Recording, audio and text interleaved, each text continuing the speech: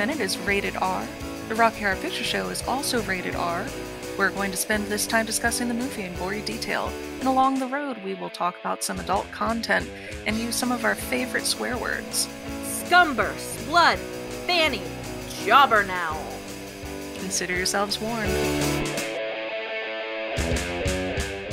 Welcome to Rocky Horror Minute. We are now in minute six of the Rocky Horror Picture Show, and I am your host, Kelly Hansen. And I am your co host, Leandra Lynn. All right, and so today we're discussing minute six, wherein we actually see some of the characters for the first time after the conclusion of science fiction double feature. So at the beginning of the minute, we're panning down the church and we see a happy newlywed couple emerging along with all of their wedding guests and some strange usher type folks and a priest. They pose for a photo at the urging of a small photographer. And then the mysterious priest goes inside and then Brad Majors pulls the groom aside, and then they have a little discussion punctuated by random punches. It says, it's bros being bros. Yeah, it really is. It's it's a it's a very strange uh, interaction, but basically, Ralph says, "I guess we really did it," and then M- Brad says, "I don't think there's any doubt about that. You and Betty have been almost inseparable since you met in Doctor Scott's." and that's the end of the minute. So next minute we'll find out where they met. I'm going with boudoir. Yeah, yeah, exactly. So that it, it's a there's a lot happening here, Leandra. What's your impression of this minute? Oh, for sure. And just thinking uh, thinking about how much we were able to get with just some lips and some credits, I'm actually really excited to be able to interact with real people on the screen. Yeah, buckle up. Our podcast. This is going to be a two-hour episode. Yep. you can pause and get a snack now if you want.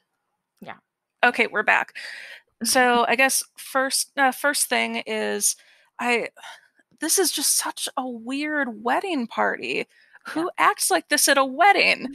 That starting with the uh, the cameramen they're already waiting outside they're smoking a cigarette everybody comes out at the same time they take one picture and then spoiler alert they essentially leave right after that and there are bridesmaids but i don't see any groomsmen i'm guessing just given the fact that this is literally everybody that exits the the, the church that this was like a very fast wedding, maybe a shotgun wedding. Oh yeah. Perhaps Betty is preggers.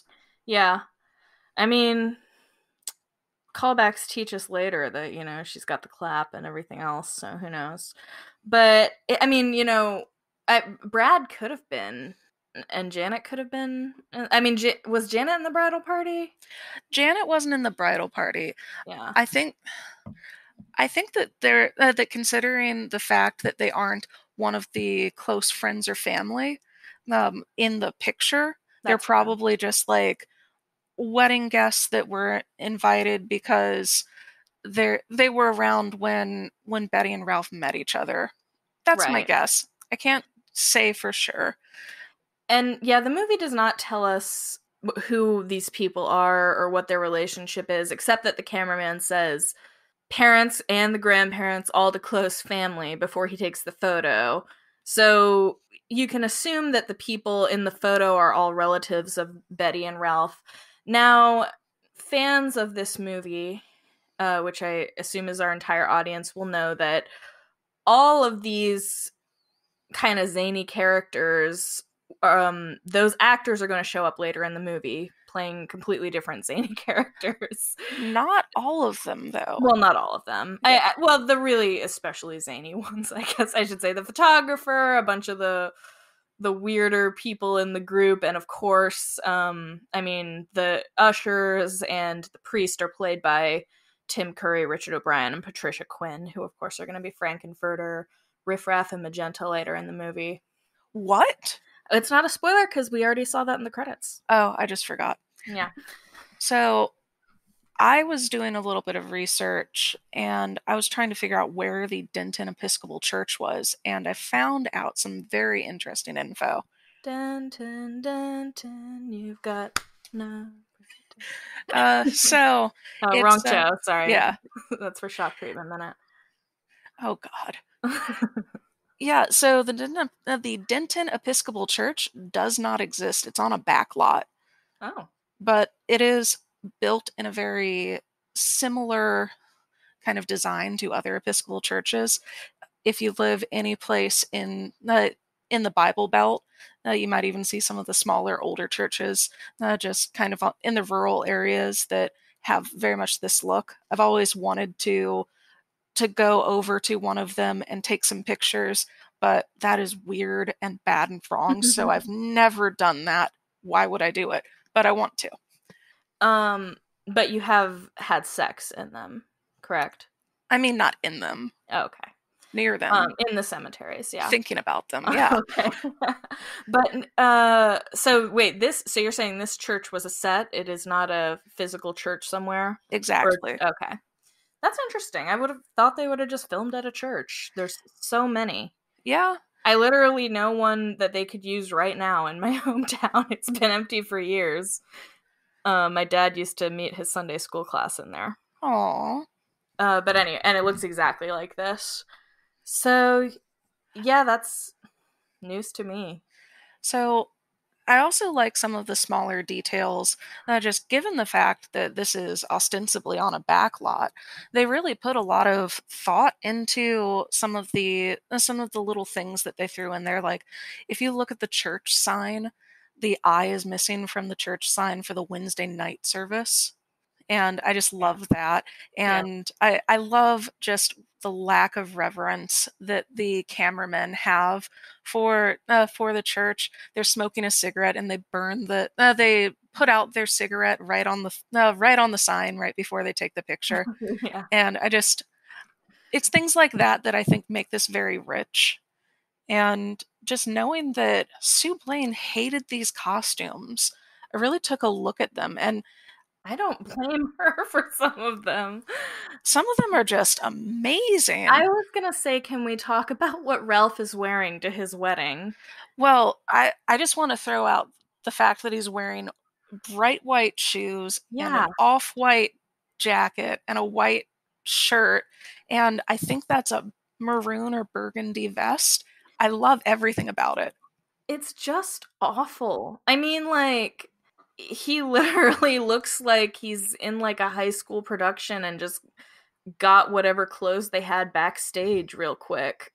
But if you put on your tinfoil hat and have the same conspiracy as me that this is a shotgun wedding, doesn't that make sense? No, it does. It does. Yeah, so like I'm here for it.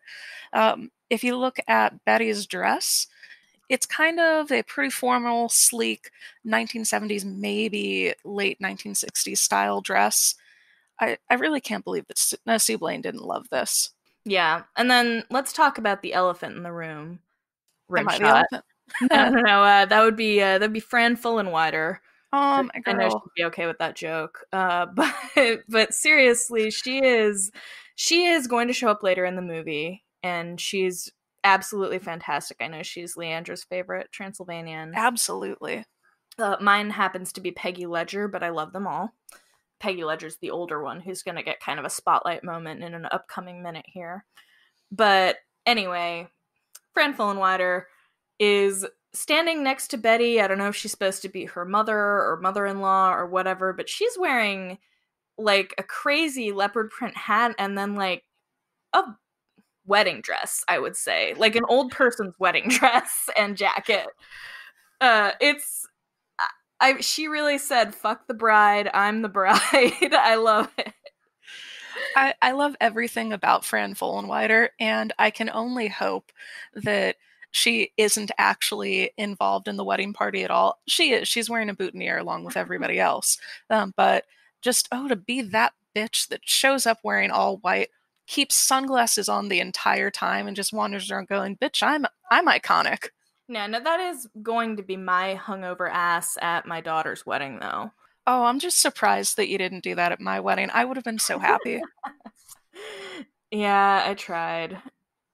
So before we get much further into this, just want to throw out a couple of uncredited credits uh, for people in the uh, in the scene. So these are bridesmaids and wedding guests and the fathers of the bride and groom. So there's Gina Barry, Gina Barry, Megan Hanks, Mark Johnson, Petra Leah, Frank Lester is, we're assuming, Betty's wedding father. John Marquand is who we're thinking is supposed to be Ralph's father. And then there's Koo Stark, who's one of the bridesmaids. And this is, uh, I think this is really interesting. Koo Stark is also well known for another thing that isn't a movie. Oh. She had a relationship with Prince Andrew. Oh, I thought you were going to say a production of Hair, but uh, but that's fucking insane as well. Yeah, She's and be alive. If uh, speaking of conspiracy theories, if mm-hmm. you if you're looking for her, she's the bridesmaid in the light lavender, right behind the wedding couple in the picture, and she just she's living her best life. She's gorgeous. It almost makes because that's also, by the way, what Peggy Ledger's wearing. Was that old bitch a bridesmaid? No, she's the grandmother. I think. Okay. I think. She could be. Yeah. I'd love Peggy Ledger to be my grandmother. No, I would too. Yeah. Um, I also just wanted to mention it, it took. I was a fan of this movie for a very long time before I found out that Betty Hapschatt is played by the woman who is now named Hilary Farr of Love It or List It fame. At the time, it was Hilary Labow. Labow. Yeah. Um, I mean, she's let's be honest, Hilary. Uh, you've had some work done, so she doesn't look exactly the same. Um, and she's doing like a weird voice. The only we haven't heard her speak yet, but she's like, ah, okay. She's doing like a Fran Drescher, like, okay, you guys, this is it. But um, still, it completely blew my mind because we've all seen Love It or List It. So she's like the bitchy British one who's always trying to get people to keep their houses. Um, and yeah, it's it, that's her. I guess she went on to have a career in reality renovation shows. I mean, she arguably is one of the most successful people to come out of this film. yeah. I mean, she's getting more work than Peter Hinwood ever got after the movie. But um, yeah. So the the people who are in the wedding party that are uh, are Transylvanians later on are Gaye Brown. She's uh, when when you hear the call back, get your mistress in the picture. Uh, she's the one that runs in and kind of scoots herself behind Ralph. And then there's Anthony Milner, Hugh Cecil, Fran Fullenwider, and of course Peggy Ledger. There are two people in this, well, I guess three people in this that I can't find any information on, and they're the kids. So you've got the little kid in, uh, the little boy in the uh, black suit with the bright red bow tie. You've got the girl with the pigtails, and then my favorite girl ever, ever little girl with the pigtails and the blue dress throwing rice directly into the face of other people. yeah, including Ralph. Oh, it's great. He's, you see him like squinting and trying to deflect the rice going directly into his eyeballs. Yeah, she's. Uh, I really hope that she went on to great things, but I can't find any info on her. If you're listening to this and you know everything about this person, please let me know. I sort of care about the other two kids, but really I care about the, the little girl throwing rice in people's face. Yeah, we're gonna have like a Princess Anastasia style search for her. Grandmama, it's me, little girl in blue dress from Rocky Horror Picture Show. exactly. Uh, if you're looking at the picture that uh, that was taken of the wedding guests, if you squint a little and look in the back, you see a triffid. Yes. Yeah. And a triffid, as we'll remember from previous moments, is a basically any large weird plant um, in British slang. Yeah, so I can only assume that that was put in intentionally, just given yeah. the attention to detail that the rest of the film has. Yeah, I mean, like, because as you said, this is a set, everything is a deliberate choice, which really changes the way one should interpret these scenes. Like, the be just and fear not sign off to the side, which I love, that was like something they did on purpose, which um, it looks um, like something been... that Danny Elfman would love. Yeah, but we'll we'll talk about that more a little bit later. Yeah, indeed. I guess the question that I have for you is how old were you or where were you when you realized that Tim Curry, Patricia Quinn, and Richard O'Brien were in this scene? So, all right, you know me eh, very well, so you know that my attention to detail is not great. I'm really like oblivious to my surroundings and things that I'm not focused on. So Riff Raff and Magenta, I realized pretty early on were in it, or that it was the same actors. Like, not the first time, the first few times I watched the movie, but I, I figured that out pretty quickly. I don't think I noticed Tim Curry, or I don't think I even saw or looked at the priest until I started performing in Rocky. Yeah, I'm pretty sure that I'm kind of in the same boat as you. I mean, it was just so long ago, but yeah, uh, yeah. Just well, give older than me. given the fact that in the next scene, uh, you see a picture. Uh, it's either the next scene or the one after that with the criminologist. You see him looking at a picture and he circled Riff and Magenta in here. I still didn't get it until I saw this live and they had people in the in the shadow cast performing as uh, as these people. Well, and also I mean, let's be real, Richard O'Brien is a distinctive looking man. A very and, attractive man. Yeah, yeah. Um absolute heartthrob, Hollywood hard body. But he so to me like i think i recognized them specifically just because he has a sort of distinctive face and it, he looks similar to the way he looks as riff raff patricia quinn and frank both wear a lot of makeup as magenta and frank. So i don't think i i don't think i put two and two together because of that for a while with frank. I can definitely appreciate that. Um oh you know what? Just realized something. Mm-hmm is the implication that Frank-N-Furter was the priest for the wedding, and did he perform the wedding? Yeah. Oh, yeah. I love that. I love everything about yeah. that. Well, so and I didn't realize it, it was it was not until even much later that I realized that the actors who played the Transylvanians are then in the wedding party. So for the longest time, my assumption was that Riff, Magenta, Frank, and we're going to see Columbia in a couple minutes here were actually there for whatever reason, like staking out Brad and Janet or something for their nefarious purposes. Now that I know that the uh, I, now I think it was just double casting. Once I realized that the Transylvanian actors were also in the wedding party, I decided that it was probably just double casting. But for a long time, I my assumption from that was that they were the same characters as well. And if you look at some of the, I'd hate to call them conspiracy theories, theories, but conspiracy theories um, from like, I wouldn't say early, uh, early internet, but like live journal era. Uh, you get a bunch of people going like, ah, no, they're they're all getting recon, and mm-hmm. this is all part of their fantastic plan. And honestly, I live for stuff like that. I I really hope that there was some larger reason for it.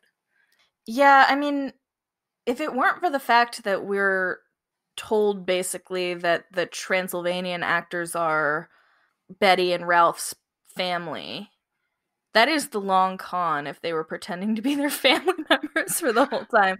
But I will say, like, I mean, I assume I haven't again seen the stage show. I assume that they're p- played by the same actors. Eh, so maybe it was just an homage to the stage musical. So in the in the Rocky Horror show, Transylvanians aren't really a thing. They're called phantoms, Oh, okay. and there uh, there isn't this kind of extended scene with Ralph and Betty uh, post wedding. So none of uh, none of this happens. oh. Wow. But I should really see this musical. I feel like I'm unqualified right now to be even doing this podcast. But um but yeah, that that makes more sense then. so did you did you recognize what Riff and Magenta were kind of going for with their with their look in this scene? Oh yeah.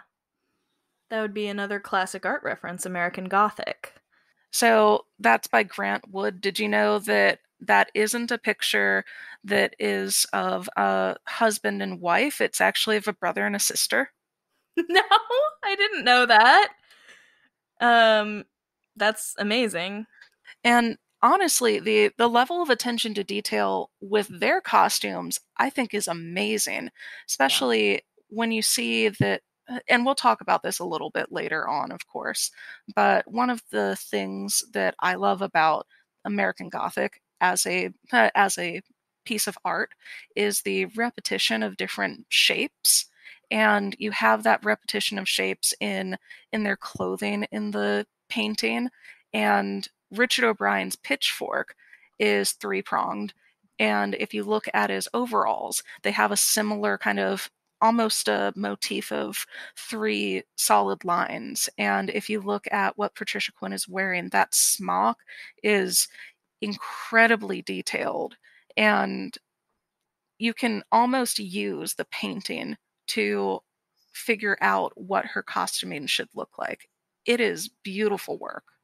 And but course, that is that's an amazing detail with the brother sister thing. Um, we will see in the future that that is an important theme for Richard O'Brien. Oh, absolutely. And yeah, we'll talk about that in subsequent minutes. Yeah, there's a lot to unpack. We don't have time. We have all of the time. Yeah. Hey, this is Leandra from the future. I done fucked up. I said that the people in American Gothic were brother and sister. They are, in fact, father and daughter. Sorry about that. I'm going to go back to the future. Hopefully, dabbling with the past doesn't have any repercussions. I, I just want to throw out that Sue Blane, who I've already said is so great, absolutely amazing, clearly didn't make any mistakes in this movie at all. She puts Brad in a in a cummerbund and bow tie, and they're both red plaid, but they're different plaids.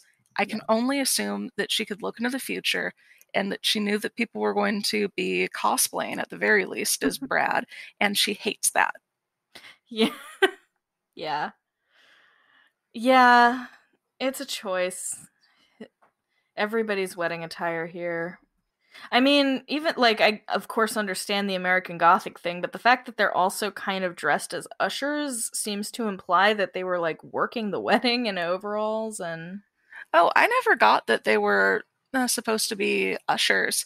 I thought that they were just people who uh, who did maintenance work at the church. Maybe uh, maybe Oh. Patricia Quinn's character is supposed to like keep things tidy and and of course Richard O'Brien could be like the maintenance guy. So he, they're just locking up after. I guess that makes sense, yeah. I never thought of it that way. Makes a lot more sense than my theory though. But they could also be ushers. They they can be whatever they want to be. I don't know. Have you gone to a wedding before where some random person just starts hitting the the groom? I mean, I'm gonna say no. Not to my knowledge. Like who does that? I love uh, I love that this entire scene is built on this concept of a wedding, but nobody in this has ever gone to a wedding. Yeah. Well, to be fair, he started it. It is true. Ralph is perhaps just weird.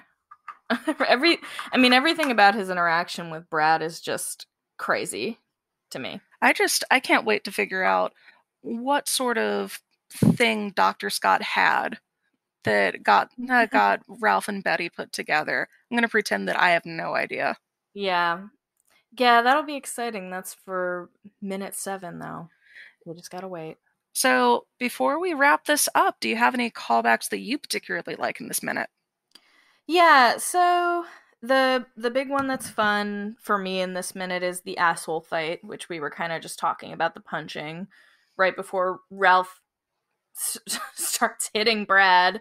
You yell like asshole fight round 1 and then uh, there's an asshole fight round 2, I believe. Um right? And then there's um a final round where you like finish him or whatever. And I love that version of the callback. I've also heard um, punch the guy who gave you syphilis, hit him back, asshole fight. Yeah. I do love that too. Yeah, that is good. That I do. There's a lot of fun callbacks implying that Brad and Ralph were romantically entangled, and some of them are very funny. What? yeah, I had no idea. Yeah, I also love um, when when you hear congratulations. Uh, Yeah. You, as an audience member, can call back and say ejaculations. I don't know. It's just it's yeah, it's some fun stuff. yeah. And then um, I often hear something along the lines of like. Who's invited to the orgy or whatever right before he says parents and the grandparents? Yes, Yes, all the close close family. Keep Yeah. it in the family. Yeah, exactly. And then you take the picture and it's your souls. We have your souls. Eh, eh, eh. because the photog- uh, the photographer team, photography team rather, just they're completely bonkers. yeah, I don't know. I don't know. They're great. Agreed. So, yeah, but those are the main ones I have for that minute. All right. So I think that we've talked this one to death. This might even be one of our longer minutes. Yeah. So far. I guess let's wrap this up the same way that we wrap up any uh, any of our minutes. Now, you don't, don't have, to, go, home, but you can't, can't stay stay here. So, so get, get the fuck fuck out. out. Oh, even better every time.